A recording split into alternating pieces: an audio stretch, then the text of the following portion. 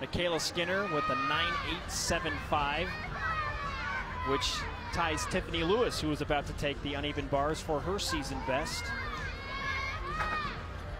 Tiffani has a huge Tkachev coming up. It's where she goes and flies over that high bar.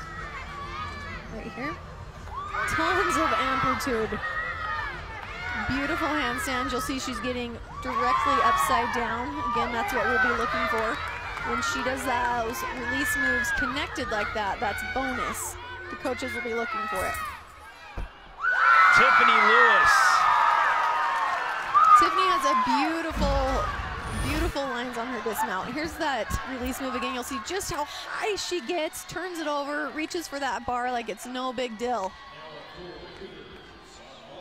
You can see there those straight arms that we were talking about earlier. That's exactly how you want to be catching those major release moves.